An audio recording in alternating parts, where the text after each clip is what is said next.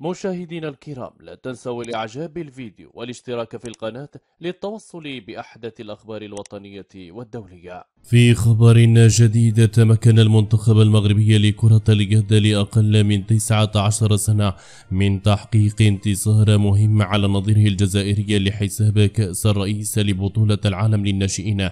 وانطلقت المواجهة بضغط كبير للكتيبة المغربية التي تمكنت من التفوق في البداية بأربعة صفر لتتواصل السيطرة لحين انتهاء المواجهة بواقع 26 مقابل 22 وبذلك تصدر المنتخب المغربي المجموعة لينتزع من المنتخب الجزائري الزعامة التي كان يحتلها قبل المواجهة. وسيتوجه المنتخب المغربي إلى مباريات تحديد المستوى ما بين السابع عشر والعشرين في حين ستشارك الجزائر في مباريات تحديد المراكز ما بين الواحد والعشرين والرابع والعشرين. نشكركم على حسن المتابعة. إلى اللقاء.